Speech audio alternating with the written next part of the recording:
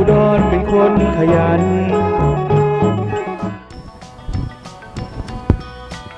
สวัสดีค่ะ มาติดตามการรายงานข่าวทางเว็บเพจอ่อนซ้อนอุดรค่ะ ลูกเสือเนตรนารีเป็นล่มแดดกว่าครึ่งรอย คณะเข้ารวมผิดที่สวนสนามและสถาปนาวันลูกเสือแห่งชาติ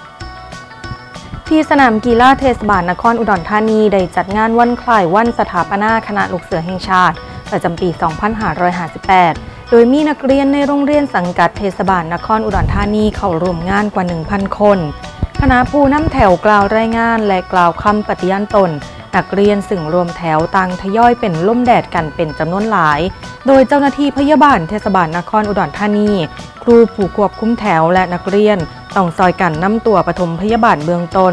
ซึ่งนักเรียนทั้งหมดอาการปลอดภัยดีทั้งนี้นักเรียนที่เป็นล่มแดดนานเนื่องจากยืนรวมงานเป็นเวลานาน ประกอบกับช่วงพิธีการมีอากาศร้อนจัด ซึ่งมีอุณหภูมิสูงถึง 40 องศาเซลเซียส นักเรียนจึงเป็นล่มแดดเป็นจำนวนหลาย จังใดก็ตามโรคล่มแดดถือว่าเป็นโรคที่อันตรายถึงชีวิต โดยเฉพาะกรณีของนักเรียนที่อยู่ในพื้นที่อุณหภูมิร้อนจัดเป็นเวลานาน จนทำให้ร่างกายขาดน้ำและเกิดอาการสภาวะหัวใจล้มเหลวเฉียบพลันดังนั้นจึงอยากฝากเตือนให้ประชาชนที่ทำงาน หรือจะต้องอยู่กลางแดดเป็นเวลานาน ให้ดื่มน้ำให้เพียงพอตามที่ร่างกายต้องการ และรักษาอุณหภูมิร่างกายให้เป็นปกติอยู่ตลอดเวลา แล้วกลับมาติดตามการรายงานข่าวทางเว็บเพจออนซอนอุดรกันได้ไหมฮอดอุดรเบิงออนซอนอุดรเด้อสวัสดีค่ะ